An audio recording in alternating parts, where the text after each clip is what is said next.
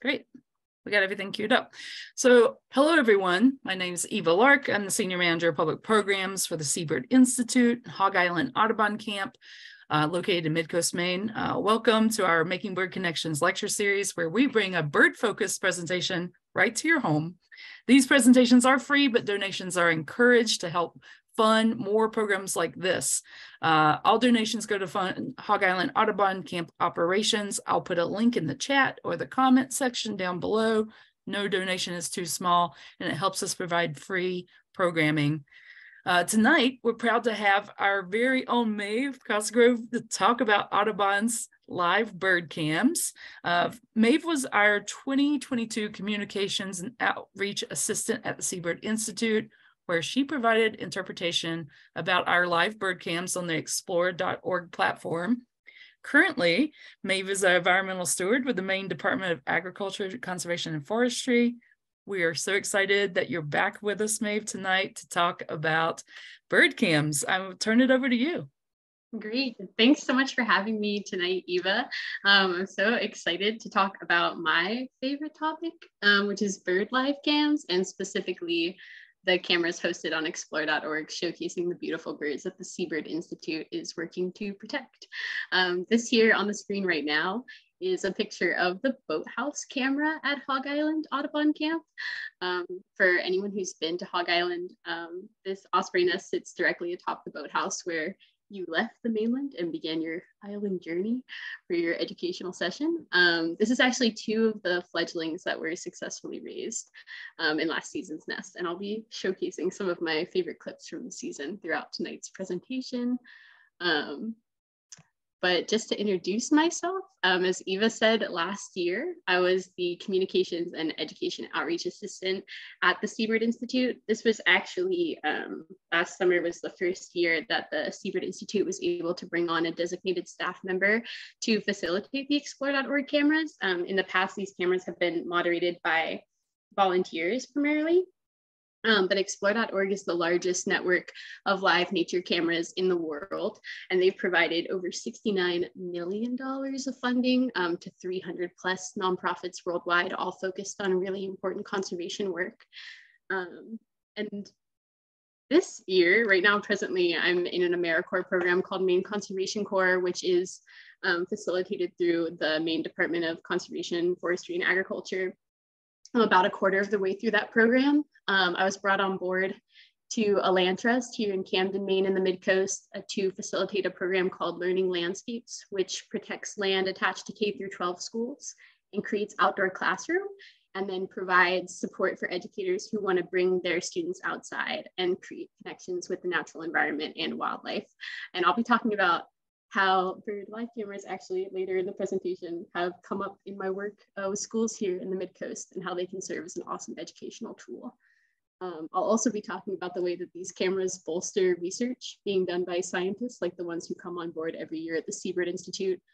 On the left here is a picture of me and my fellow seasonal educator from last year, Arden Kelly. Um, we're holding a decoy, one of the original decoys that was used to restore puffins to Eastern Egg Rock um, starting in 1973. Um, we're at the Project Puffin Visitor Center in Rockland, um, where we are providing education um, and interpretation about the beautiful birds that the project works to protect and restore. Um, and Arden was a researcher at McGill, where her research focused on prey availability for puffins, which is the biggest concern for these birds as the effects of climate change become increasingly more severe. I'll be talking about the way that cameras allow us unprecedented access to that behavior. Um, it can capture all kinds of cool data in a non-invasive way. This though um, is a really cool clip to start out with. This was the most popular clip that I posted to a YouTube channel I created last summer to post highlights um, from the season from the various cameras that explore.org hosts for the Seabird Institute. Um, there's three really cute bobbly head, wobbly little guys there. Those are the chicks that were successfully raised in the boathouse nest. Um, last season, it was the first year that chicks were successfully hatched and then fledged in the boathouse nest. Dory and Skiff were the ospreys who hatched these little guys. Um, they live atop the boathouse. So the fact that they are nautically named is only fitting. Um, and every year we host a naming contest for folks to submit their name suggestions for the chicks um, that are hopefully raised in these nests. It's a really cool way to engage CAM viewers. I feel like the way that most people know about explore.org is through Fat Bear Week.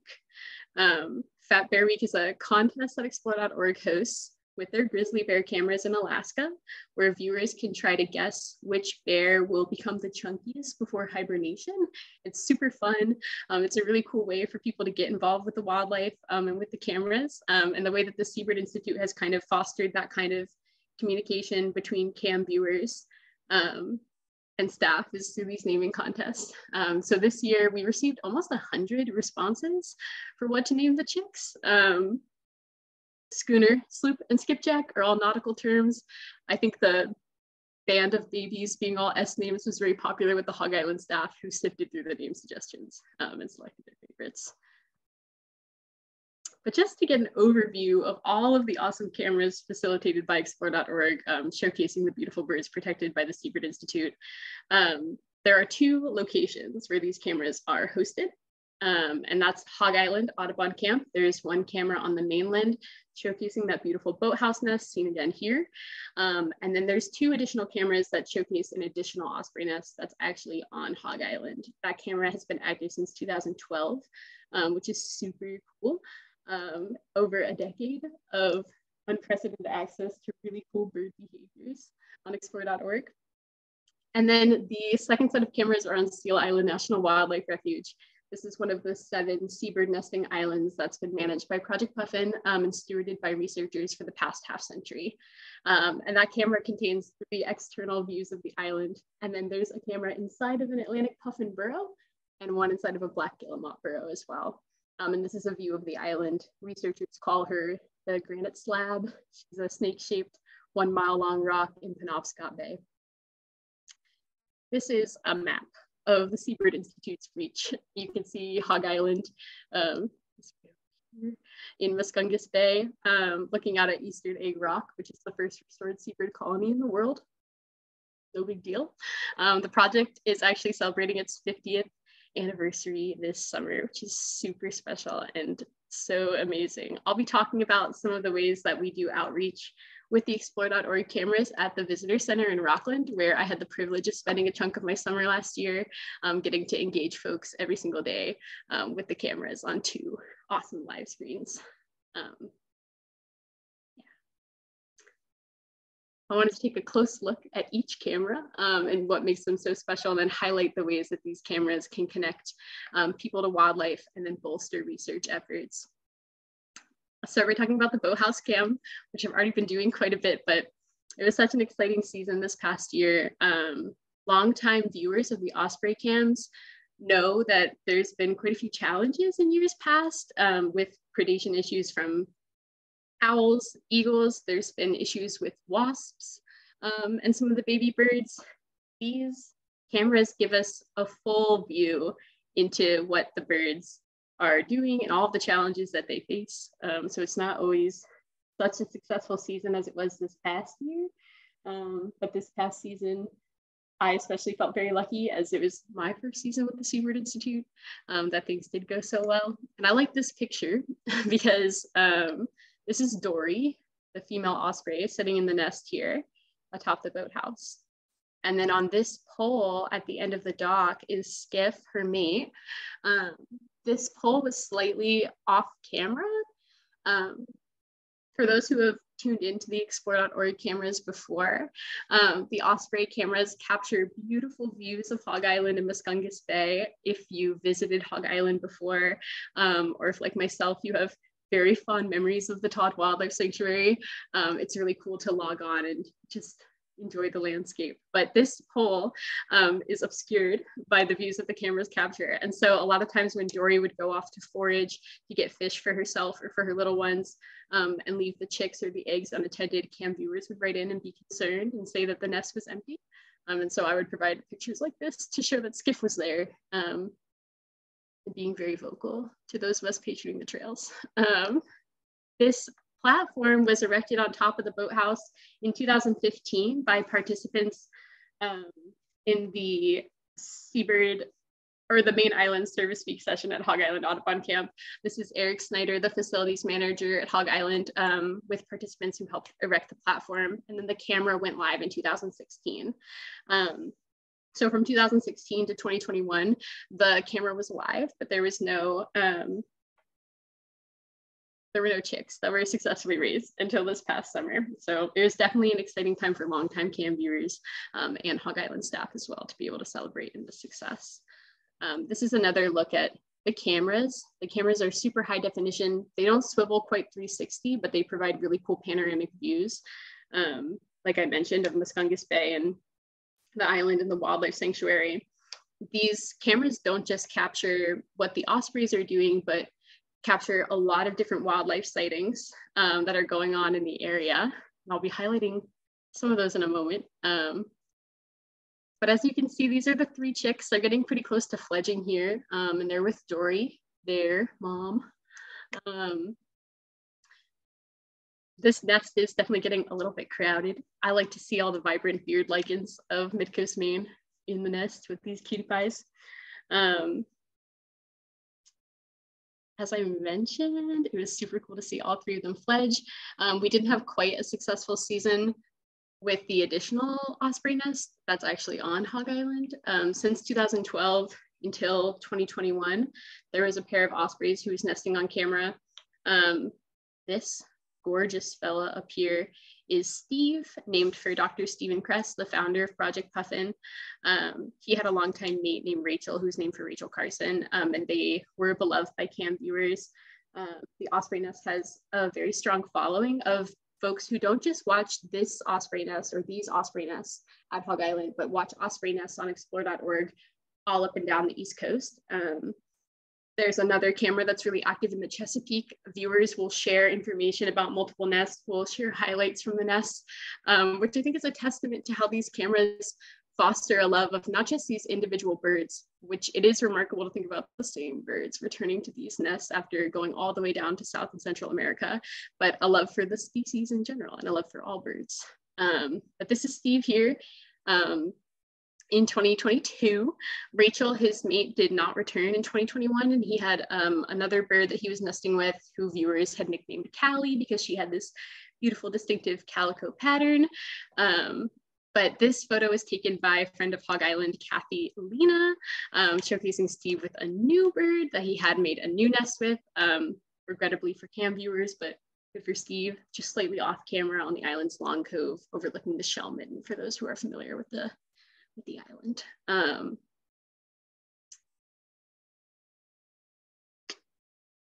but as I mentioned, even when there isn't such a successful season on camera for the nest, like this year, Steve didn't use his on-camera nest, um, the cameras can still capture all types of cool things. In 2017, the cameras captured this little cutie. This is Maine's first verified vermilion flycatcher. Um, the cameras are super high definition. It's super cool to get this look at who's passing through when the seabirds leave their nesting islands in the fall. Cam viewers get to enjoy a bunch of migratory species who pass through raptors and all types of cool birds. Um, for those who are following the cams right now, there is currently an eagle who's been capturing quite a bit of attention on the seal cam because when those cameras um, are no longer observing seabirds, the cameras on Seal Island display a seal colony that pops on the island. So it's a really cool way, not just to look um, at the specific birds that we're interested in, but also all of Maine's awesome wildlife for people who wouldn't regularly be able to access it. Um, I also think that these cameras can inspire people to become scientists themselves, um, especially for young people. Um, these cameras for the Seabird Institute provide a really cool online avenue to boost the research work that's being done and the educational work that's being done by staff. Um, this is Abigail Muscat. She is a Mainer. She grew up here. She attended Hog Island sessions when she was young. And then she was actually a volunteer moderator with the cameras as a teenager. Um, this past year, this is her in 2022. She was a research assistant for three and a half months on Outer Green Island. She was out there in her tent the whole time, um, hanging out with these cool seabirds. These are some guillemot chicks that she pulled from their burrow. The term for that is grubbing, which is so fun. um, but I think that it's not an isolated incident that Abigail fostered such a strong connection with the birds through Explore.org and through Hog Island, um, and that contributed to her journey as a seabird researcher and a scientist.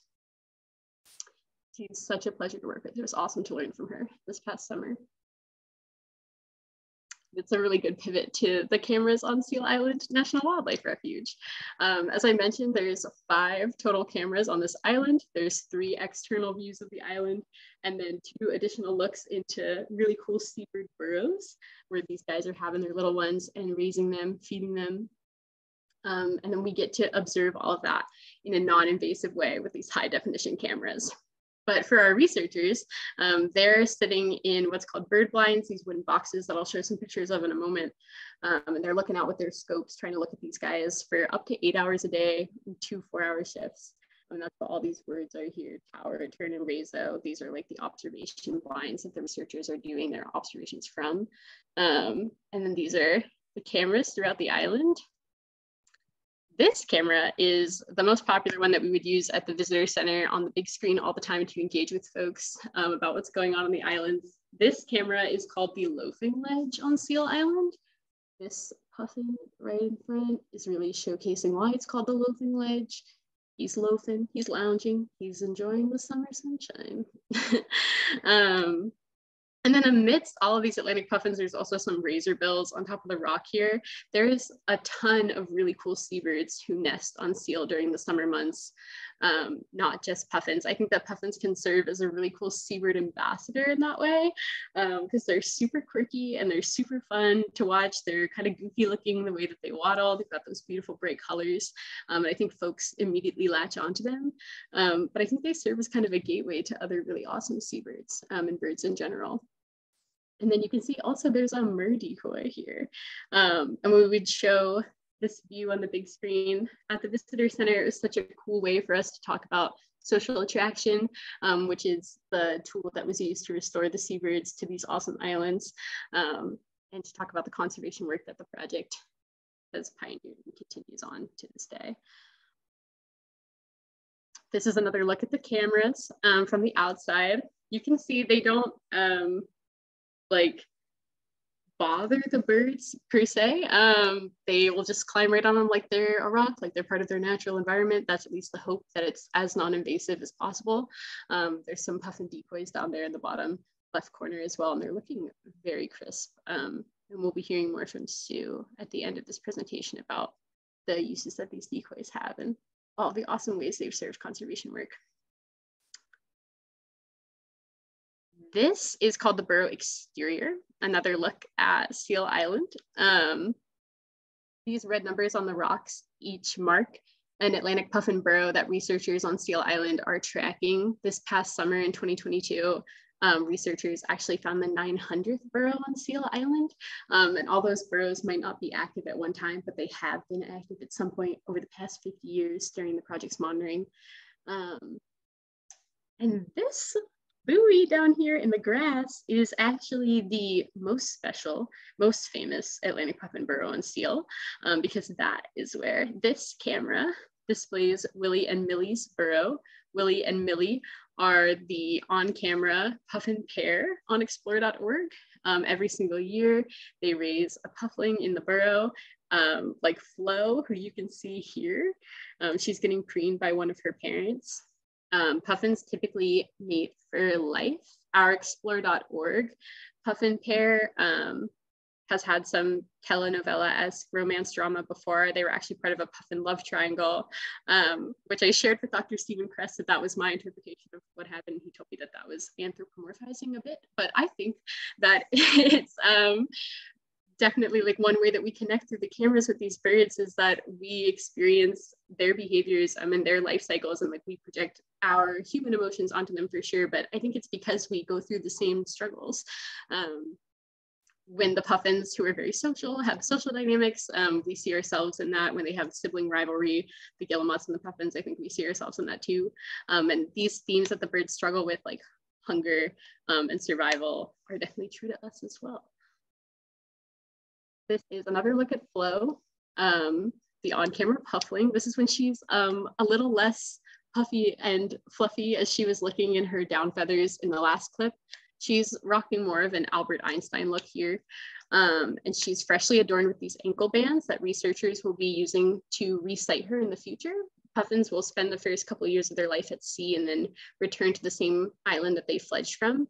Um, but she won't do that for several many years. Um, and when she does, that's how we'll know it's her. Um, this is a picture of Florence Merriam Bailey, the human, who she was named after. She was a trailblazing ornithologist um, and activist at a time when women were severely underrepresented in the field. Um, this is a drawing of a belted kingfisher that she did. And there's a quote about this guy in her 1889 book, Birds Through an Opera Glass, that I thought was very fitting um, for tonight's topic about bird life cams and how we use these cameras to tap into the bird's secret worlds. Um, but she said about birds that they are adventurers and that ask him for his compass. He needs no trail. Follow him and he will teach you the secrets of the forest. I think that's so true, especially about our birds. Maybe not the forest in this case, but the coast um, and the sea. This is a look at um, one of the puffin parents bringing in some fish to their puffling in the burrow. Um, one of the most important pieces of data, as I mentioned, that our researchers are looking for out on the islands is the prey availability for these seabirds. Um, puffins and other seabirds eat exclusively fish, um, and that's what's making their conditions um, ever increasingly difficult as time goes on. The Gulf of Maine is one of the fastest warming bodies of water in the world. And so the types of fish and the amount of fish that's available here is changing. That's a huge threat to puffins um, who feed their babies whole tiny fish when the fish are larger, which is um, typical for warmer water fish, like the Atlantic butterfish is kind of like the mascot for this problem um, for Project Puffin. The baby puffins aren't able to swallow those fish, and so they're found in the burrow um, starved or surrounded by fish that they couldn't fit down their mouths. Um, my colleague Arden, who I mentioned earlier, was doing um, really interesting work at McGill with cameras on burrows. She was using cameras that didn't record videos like these ones on explore.org, but that would take a rapid series of photographs triggered by motion. So when puffins would come to feed their little ones in the burrow, all these photos would be captured of what kinds of fish were in their bill. And then researchers would go in and look and try to assess how many fish, what kind of fish are these birds bringing in, and then pair that information with data from geotags on the bird's ankles so they can see where in the water the birds are foraging and how much they're pulling out of the water. That type of data is super, super important for informing fisheries on adaptive management techniques, and then also for governments to determine where in the water it might be valuable to put things like sea monuments or other protections. Um, and that's something that Project Puffin is super concerned about as well. Um, and it's something I know that Don talked about in his um, lecture about offshore wind. Um, another type of behavior that scientists are looking at that our cam viewers are also able to observe um, is resighting. And this is the process, like I mentioned, when Flo comes back to the island one day, she'll have those gorgeous little bracelets on telling her or telling us that it's her. Um, our cam fans, because these cameras are so high definition um, and so high quality, are often able to resight the birds on camera on the loafing ledge or the burrow exterior. This is a screenshot that was taken by a cam viewer this past season in 2022. Um, and this is Grace. This was the puffling that was born on camera in 2018 um, and successfully fledged many years ago from Willie and Millie's burrow. Um, when this kind of information is captured by cam viewers, it gets recorded and entered by researchers into the real database, or not like the real database, but the database that is used at Project Puffin.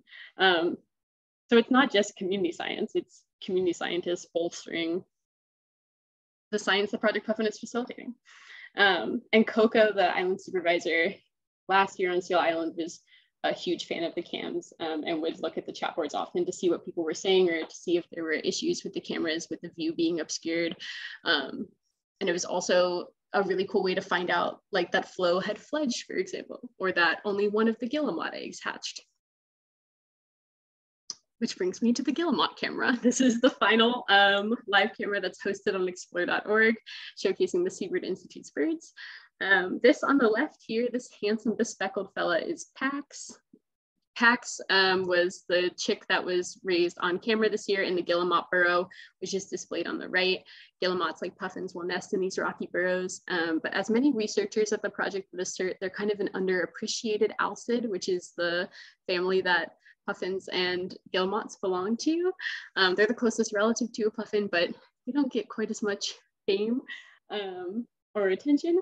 That being said, we have a very small but devoted group that follows the Guillemot camera. And so amongst themselves, they decided to name Pax um, last year, which is Latin for peace. But I wanted to show, um, well, this is Pax, first of all, as an egg before he came into the world. Um, and one of his Guillemot parents, Guillemots have a lot of personality, um, just like their other alcid counterparts like puffins and are super fun to watch. Um, but they nest in these little rocky crevices and so it can be kind of difficult to get a good view of them. Um, you can see how cozy this little guy is in between those boulders. They've got very fun Twizzler-like bright red legs and then a gorgeous mouth to match inside. Um, this is what the Guillemot burrows look like from the outside. Um, these are pictures that I took when I spent some time with the crew on Seal Island last summer.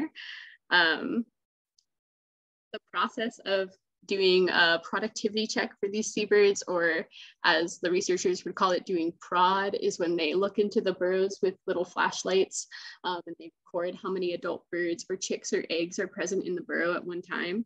Um, Seal has Seal Island has a rock structure in the middle of it called the spine, um, and that's where the guillemots do their thing. Um, and so it's definitely a rough and tough process. Uh, I wanted to include these shots because they're so fun to look at, but also just to highlight um, how hard it is to get a good look at what these guys are up to. And so how remarkable it is that these cameras can provide us high definition views of their behaviors all the time. Um, and why it's so cool for the researchers to have this window into their world as well. Um, this is another look at a day in the life of a seabird researcher. This is Amanda McFarland, one of the research assistants from Seal Island this past season. Um, these are some of those blinds I was talking about, these wind boxes scientists will sit in up to eight hours a day on a bucket, just looking out to see you, the sea in your scope and all these gorgeous birds to talk to. Um, there are a lot of really cool ways to keep up with what's going on at Project Puffin and the Seabird Institute throughout the summer. Um, and if you're interested in seeing images like this or getting a closer look into the world of our seabird scientists, I would definitely recommend checking out the Seabird Island News, which is a weekly newsletter that goes out all summer long, highlighting what's happening on each island, and then also providing updates on explore.org and what's going on on the cameras. As I have been mentioning, I think that um, birds like puffins or ospreys can immediately gain um, a really powerful following. A lot of people really like raptors. A lot of people really like puffins. Um, these are bigger birds that are um, easily recognizable. Um, but I think that puffins are a cool ambassador. I think they get people hooked on seabirds. And then with an island like Seal Island um, that has so many different species of seabirds nesting on it, these cameras provide all different types of views into all different types of birds and hopefully get people interested in not just puffins, but seabirds and birds as a whole. This is a common tern chick seal is home to two different species of terns during the summertime. Um, and this little guy is testing out his wings, getting ready to fledge on a windy summer day um, when people would come in to the visitor center, um, they would often be really knowledgeable about puffins, but not so much our other seabirds. And I think that these cameras and these cam operators work remotely all around the world and then use these high definition lenses to zoom in on how things like the vermilion flycatcher or the terns around the puff burrows um, can really highlight all of these diverse and amazing species. These cameras are also a really cool educational tool, not just at places like the visitor center, but in traditional classrooms. These are some pictures from a third grade science classroom at Camden Rockport Elementary School. Um, this is one of the schools that I'm working with um, at my current role at Coastal Mountains Land Trust as an AmeriCorps member. Um, the teacher there, Robin, is using the Eagle Cam in Decorah, Iowa to bolster her life cycle curriculum for her students. Um, on the left here, you can see a list of questions that she's having her students answer about bird life cycles based on what they're observing on the cameras that are projected onto a big screen in their classroom. And then on the right, there's some worksheets that she's been having them fill out, um, tracking the life cycles of these birds. We have eagles here in Maine. Um, there are no eagle cameras on explore.org. Um, so it's a really cool way for the kids to watch in real time the life cycles of these birds, um, learn about their behaviors, and then hopefully go out into the world, um, go out into their own backyards in Maine see eagles and have a better understanding of what's happening in their nests, um, which would otherwise be inaccessible if we didn't have these cool views. Also, Robin has made me aware that he plans to put on the puffin cameras when they go live in Maine. Um, I think that's super cool, but I just think it's awesome to get the kids involved with the cameras in any way. Because when I was at the visitor center, um, kiddos would love to come in and watch what was going on on the camera. These are pictures from this past summer of the Project Puffin Visitor Center, which is a really cool avenue um, that the project and the Seabird Institute uses for outreach for the cams. We would display the cameras on two different screens right when you walk into the visitor center in Rockland there's a TV screen up front, um, and then there's this big, beautiful screen projected in the back. Um, this is my favorite room maybe in the world because um, it's got so many cool things in it as you can see. There's this miniature blind on the left side. We would do observation games um, with younger visitors. In rockland we would teach kids how to identify different species of seabirds. They get to learn um, how to count the birds um, and they get walked through a little feeding study as well. They get to learn how to identify different types of fish. Um, I also got some really cool decoys on display um, and some really cool artifacts from the project's history well worth a stop in, well worth planning your whole trip around, I feel. Um, but that's the beauty of the cameras too, is that people get to come in and learn about the birds and then they can check in on the birds anytime from home. Explore.org is facilitating a lot of research um, into the effects that these cameras can have on people and whether or not that these cameras motivate people to participate in conservation work. Um, and there is research that they found that suggests that having virtual experiences with wildlife can be just as significant as having a face-to-face -face physical experience for someone in terms of motivating them to participate um, in environmental advocacy or conservation work in their community.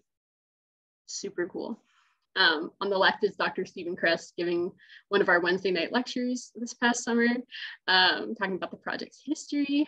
And then um, that's one, our sandwich board when Arden and I gave our presentation on her research at McGill and feeding studies um, and my work with outreach for these cameras as I mentioned, if you're interested in keeping up with the cams, it's really cool to watch on explore.org. And if you want more insider information on what's going on on the research sides of things on the islands, you can subscribe to the Seabird Island News. There's also the Hog Island Happenings, um, which is a newsletter that goes out about camp goings on um, and the osprey nest. You can find all of those at uh, projectpuffin.audubon.org slash news. There's a lot of really cool stuff on there, including the Egg update, which is an annual update capturing all the good stuff going on at the Seabird Institute.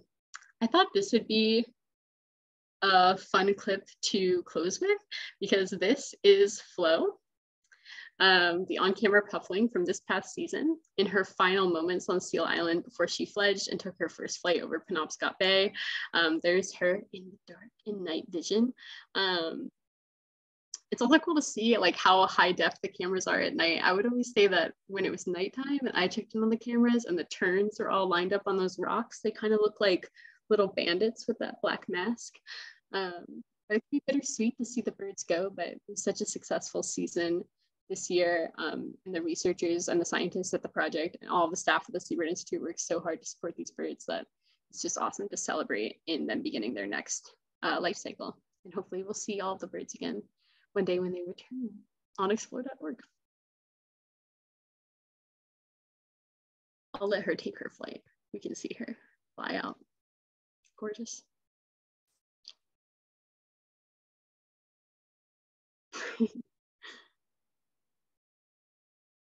yep.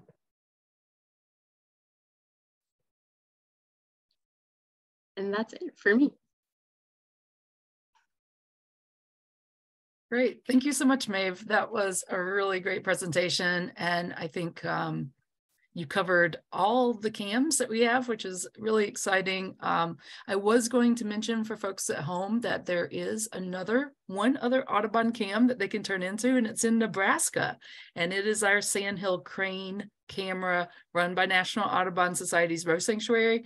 Uh, and it is live right now. So um, I just wanted to mention that because they're the only other person kind of like in the larger Audubon network that has live cams. And then we have our whole uh, uh, repertoire that you've gone through tonight. Um, but they can find those on explore.org as well, the, the crane cameras.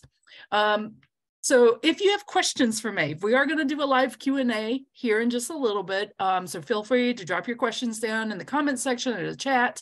Um, we'll get to you in just a minute. But first, we have our Audubon Bird Connection presentation. Uh, let me find her, the one and only Seabird Sue Schubel. Let's see where she is in my list of folks here. Uh, Sue is um, joining us from the Audubon Decoy Workshop.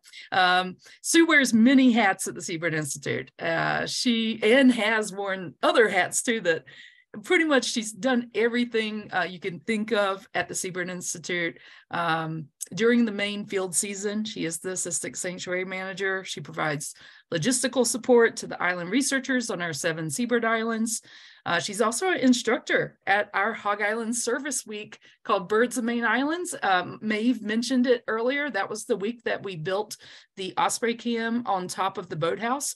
Uh, it's a wonderful week where you can work alongside uh, our seabird researchers and support that conservation work directly. I'll put a chat, a link in the chat for you uh, about that. Uh, but tonight, we're going to hear about uh, what Sue is up to in the off season when she's not working directly with seabirds um, out on the islands. Sue, take it away. Thanks, Eva. well, you can see I'm here in the decoy shop. So even when it's off season, I feel like I'm surrounded by birds. It's very comforting. It was great to see Maeve's presentation where she showed all those great clips and um, really brought uh, to the fore that those cams are so valuable for us learning about the behavior of birds. because when we want to help birds, we really do need to understand what they're doing. And Maeve, I'm with you. I think they do have emotions. Uh, humans have not cornered the market on that. Anthropomorphism is a species-ocentric term. Anyway, um, we're here and you could see on her clips how very social most seabirds are. So they nest in very few places. They come together from the wide expanses of the ocean to these small islands typically because that is what, like a halfway house for seabirds. The sea is their home. They need to come to land to lay an egg. Um, people have used decoys to influence the behavior of birds for a long time, typically to bring them into the barrel of a gun so that they can be hunted. but um, our project was the start of communicating with birds in order to help them. So these social birds use social clues to come together to uh, find these little tiny islands, using the clues that there are birds there hearing the birds, seeing the birds, helps them know that that is a safe place to be. So we're communicating with the birds about safe places to be. Uh, we got this company, the uh, Mad River Decoy Company was gifted to us in 2017. And we, they've been making conservation decoys for quite a while. Uh, Jim Henry and his wife uh, they developed this method. Um, he used to make canoes in Vermont. Mad River Canoe was his company. And so he would make this roto, roto-molded plastic canoes. And using that technology, he developed these lightweight, hollow, roto-molded plastic decoys. Uh, you know, any kind of de decoy can work. It doesn't even have to be an exact replica of the bird. It can be a very simple essence of bird kind of shape as long as you get the basic colors right, birds are smart. They have good eyesight. they can look at something and understand the symbolic nature of it. So the same way that we could look at a stick figure on a sign and know that that was a person walking, they can see, you know, a bird-like shape with the basic color palette in place, and they can think that is a bird. These people are trying to tell me something. So we have about, uh, let's see, I think we have 17 different kinds of molds. And from those molds, we have made at least 48 different species of birds. So we can use some of our more basic molds, like, uh, now I don't even have my common tern on me. We have a mid-sized tern, which can be used for many species. This is our mid-sized tern, painted as a roseate but it can serve for many, many different species of terns. Terns are extremely social, very sensitive to peer pressure, and biologically, they they are prone to getting up as a flock and finding a new place to live if the place they are is not proving successful. Maybe there's not food there, maybe there are predators, maybe the habitat has suffered somehow. so terns are really, really influenced by seeing uh, a new site that we're telling them is a safe place. Our, our projects that we supply decoys to are typically kind of generally in three categories. So there are restoration projects where birds are being returned to a place where they used to be. For some reason, often people induced problems. The place has been, uh, the population has been eliminated and now we're bringing them back because there is still intact habitat and perhaps uh, we needed to do some work there, but the habitat is ready to receive birds again. Eastern Egg Rock, the first restored seabird colony where puffins came back 50 years ago. Um, well, where we started bringing puffins back 50 years ago, that is a restoration project. we also involved in a lot of projects that are relocation projects. So if their first colony site is defunct, unable to be um, supporting birds, often um, birds are relocated to a new safe place. So we, with least terns, we see this a lot. Their habitat gets destroyed or perhaps it's being used for something else uh, people want to put wind power in or their habitat has washed away with high storms, something like that. But if alternate habitat is available, birds can be relocated, convinced to relocate using these social cues. And then there are also projects um, to just comfort birds, give them confidence. Sometimes they need the confidence to land in a spot. Sometimes birds are used to uh, comfort ones that are being held in rehab or chicks that want to be surrounded by birds instead of just people like albatrosses. We often see decoys used to comfort albatrosses that are being raised by hand. Uh, so I wanted to show you a few more decoys. Oh, we also sometimes use uh, the, these are sent to projects where they're trying to do scientific research and they want to capture a bird. Uh, shorebirds aren't typical oyster catchers. Well, this is a willet. Uh, they are not so much nesting colonially, but they are very territorial. So they're attracted to decoys often to defend their territory. And we have had a number of projects where oyster catcher decoys and willets have been used to draw in birds so that they can be tagged and then tracked for scientific purposes or captured because they needed to have a band removed or helped in some way. I just uh, had a really interesting project where we made some marbled murrelet decoys. Now you would think, why would you be making decoys for these tiny seabirds that nest high in old growth forest and they come in and out at night but these are actually to help the researchers train to spot birds up in the trees. So they would mount these so that the people could learn how to spot them. One of our decoys we have is a small gull type shape. which sometimes we can modify to be a petrel by carving the beak and painting it a different way. So we've created a lot of different decoys. We're very, very pleased to be able to send them out all over the world. I got to say, that is a thrill when I send a box off to Sweden or the Netherlands or Australia. Mauritius was a very exciting one.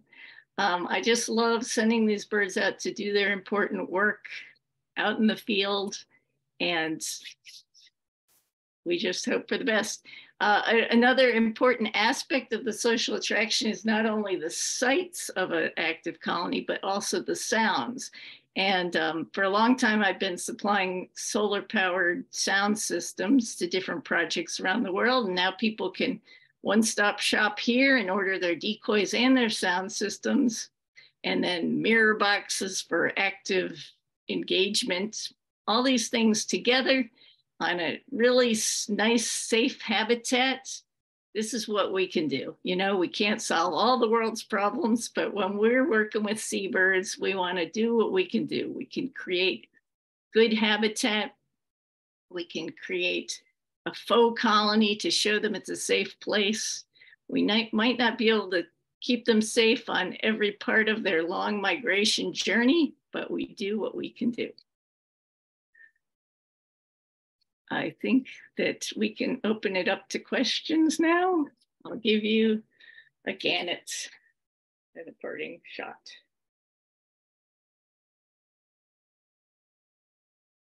Perfect. Thank you so much, uh, Sue, for giving people some behind the scenes there. Um, remember, we are going to take questions from the chat, from the comment section, um, and kind of popcorn back and forth. Um, my first question, this is uh, for both of you. Um, young career naturalist wants to know, how did you get involved working with seabirds? Um, why don't we start with Sue, and then we'll go to Maeve. Oh, how did I get involved? Um, well, I in actually in high school, I did see Steve Kress on Wild Kingdom, Mutual of Omaha's Wild Kingdom, and at the time, I thought that's what I want to do. People were steering me. They thought, "Oh, you like animals? You should be a veterinarian." But I, I saw people out there on the wild islands of Newfoundland, and I thought, "No, that is what I want to do." Uh, and then I went to school at the University of New Hampshire, and my ornithology professor, he basically grew up at Hog Island, so he gave me an inroad to that spot. Um, my first job working with seabirds was this job last summer. Um, I've always been a lifelong bird lover and bird appreciator, but I always thought that not being a hard scientist myself, my academic background is in like political science and environmental policy, but identifying birds and their songs was just way beyond me. Um, but the staff at the Seabird Institute, all the researchers I got to work with last summer, all the educators I got to work with, um, equipped me with the tools to be a birder today. And I think that the live cameras and having that really close up look into the birds and their behavior just made me fall in love with them even more. And now I'm running into Sue at Lincolnville Beach, looking at the ducks. so. Uh, and I think that's a good point, Maeve. Um, a lot of times folks think that you have to be, you have to have a science background or, you know, be into ornithology, but you can work with birds uh, as a science communicator, as an educator. There's all different paths uh, to do conservation work, policy, um, you name it, um, IT, tech. There's there's jobs out there um, for all types of people and their skill sets, uh, but you can still do it for things like bird conservation. Um, thanks both. Our next question is for Maeve. Um, I'll preface this with my own. They often say you're not supposed to have a favorite child. Do you have a favorite bird cam that you just had a little bit more of an inkling toward than the others? No. I don't know. One time I asked Sue what her favorite island was of all the islands, and she wouldn't tell me. And I feel like I was like, I don't believe that. And now maybe I understand because I don't know if I could pick. I don't know. Seal is such a special place, um, but so is Hog Island. And it's so cool to have that window into both places. And I'm so glad that I can go back and check on them anytime I want to. nice. Um, Pamela has a question. She wants to know, is there a repository for the data that's coming out of our live bird cams, this kind of intimate look that researchers are getting? Are we uh, cataloging that somewhere? Regina, who's a very avid viewer of the Hog Island cams, has been keeping a database um, about observations that she's made about the ospreys, like when they return each year and then when the eggs hatch um, and other significant moments. Um, I know that several, many viewers keep their own logs um, of their own feeding studies that they're doing with the birds. They mark down how many times a day the puffins in the burrow are getting fed and the ospreys as well, and what types of fish they're bringing in. A lot of times when I would um, be, we would do like a weekly live stream every week last summer of one of the nests or the burrows, like cam viewers can identify what types of fish are coming in like super fast. Um, they're super skilled. So I think people are keeping their own. I don't think we have a database. So any, any feedback there from the researcher perspective? Um, I don't know that we have I don't know. We always talk about capturing better the observations from the loyal cam viewers because they are on there all the time and it's really super valuable. Uh, uh, but I don't think we have an official avenue for inputting yet. Great. Future project for someone out there um, who wants to join us and compile data. Um, I, I could see it proving very useful. All right, our next question is, um, well, there's a couple questions here about decoys, so I'll, I'll give you those, Sue. Uh, first, Pamela asked if we've worked on any penguin projects, any penguin decoys? Hmm, we have not done any penguins yet. That would be thrilling. Uh, we don't have any penguin decoys, but we would definitely make one. All right, penguin researchers out there, you've heard it. You can contact Sue. um, the next question about decoys is, uh, what's the rarest bird that you've like painted or made in the workshop? The rarest bird, probably the Chinese crested tern, which was thought to be extinct. And they they nested just here and there in big colonies of greater crested terns. And so the thought was if they could be socially attracted to be in one place, they would be better able to find a mate, better able to be protected. And no one really knew if there were even any left. Uh, but a few were found and they were drawn in, larger numbers to um, an island in off the coast of China. And now there have been a few found in South Korea also. So we we get to supply decoys to that project.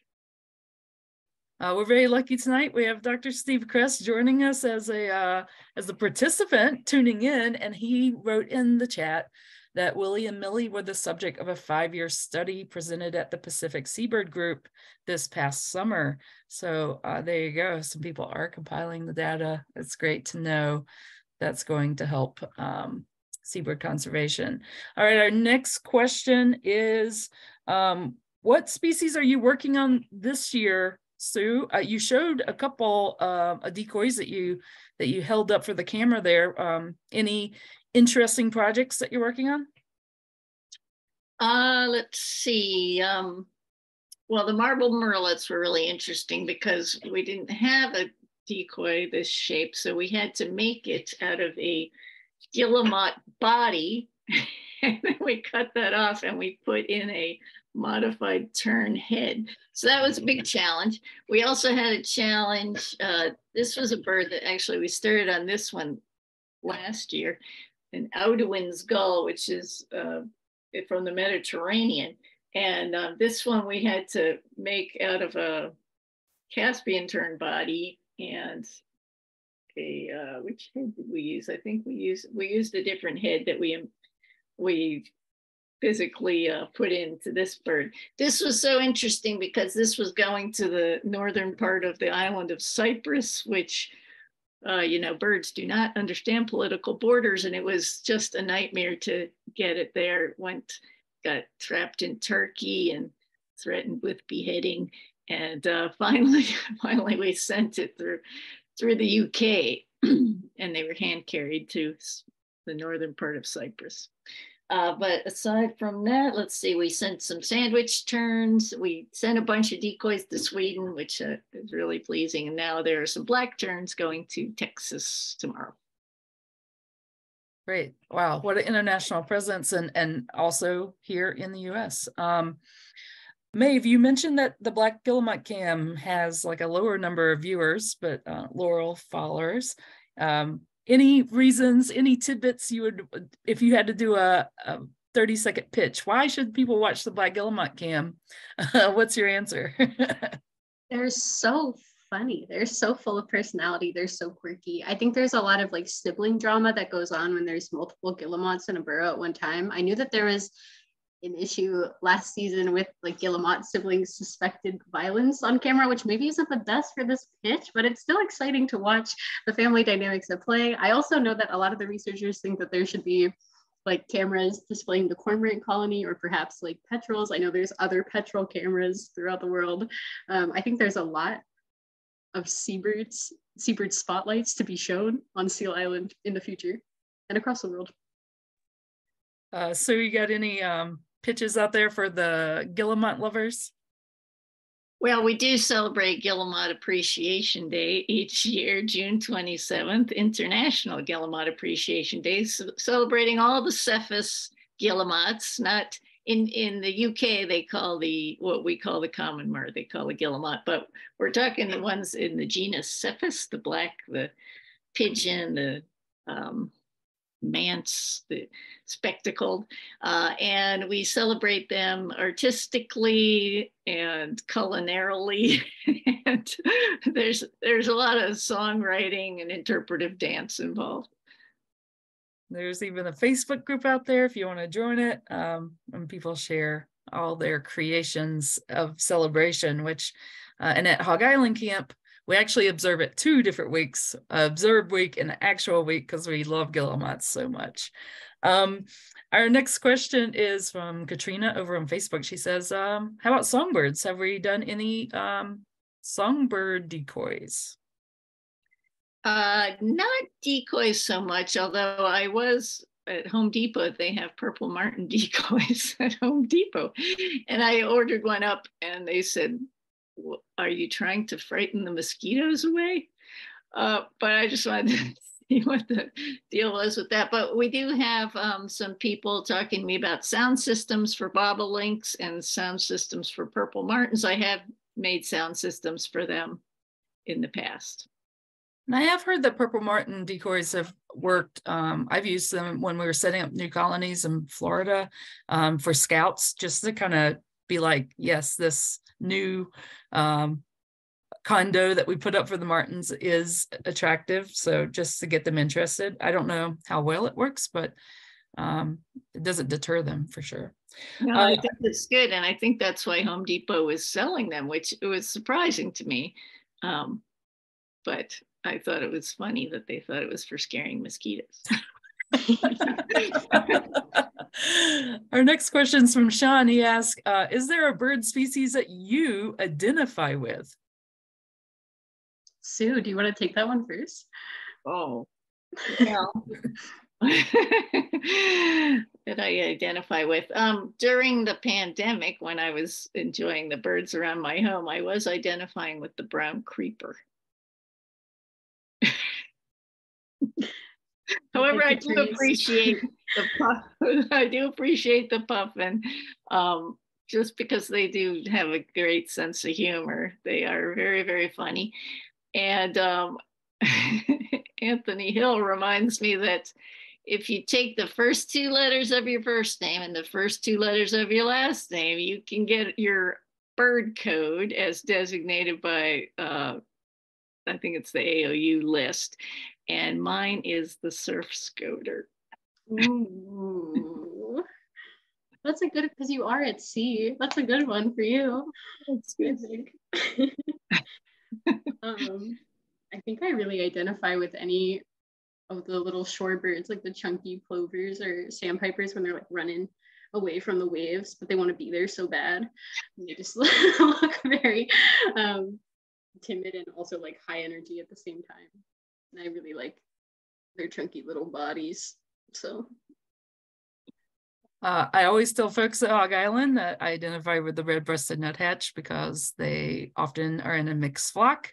They make lots of noise and they're constantly moving. That's how I feel when I'm at camp all summer. Um, and uh, yeah, love. And I used to live in Colorado, and it was one of the few birds that was at my feeder, both in Maine and in Colorado. So it felt like home to me. Um, well, I think we've gotten to most of the questions out there. Um, I really appreciate you both joining us tonight. I always like for people to share just some parting. Um, it could be advice, it could be like what you're hopeful about, um, especially when it comes to seabirds or bird conservation. Um, maybe it's a pitch for, you know, a way for people to get involved. So, any parting words for the folks tuning in? Um, I'll start with Sue. I was hoping you'd start with me. um, well, let's see. Well, I think just pay attention. Uh, learn what you can you can learn about things anytime and that information you can put it all in your hopper and and then take some positive action for wildlife I think I would also say pay attention. I think that birding is like an exercise in stopping and taking notice in general. There's that really good Mary Oliver quote where she says that once you notice something, it leads you to notice more and more, which I feel about birds in general and then kind of the natural world as a whole. Um, and I think that it's also just really impactful to be an ambassador for the birds just with your friends and your family and anyone that you encounter. I think that when people see someone who's really passionate about something, um, makes them want to take action too. So just talking to folks about what you think. I appreciate that. My final pitch for those at home, if you're interested in adult bird camp, that's what we do at Hog Island. And we still do have space in quite a few of our sessions, especially our September sessions. I tell folks that's the secret month of the year that I think is just the best in Maine, uh, best weather, wonderful birds. Um, a lot of the seabirds have lost it, have left, they've migrated off, but we do get our nice fall migration and beautiful sunsets. So if you're interested, you can go to hogisland.audubon.org. Um, thank you, Maeve and Sue, for being here, lending your expertise. And everyone at home, um, we have one more Making Bird Connections lecture this season. It will be in two weeks uh, at 7.30 Eastern Time on April 6th. We're so lucky. We're going to have Dr. Stephen Kress.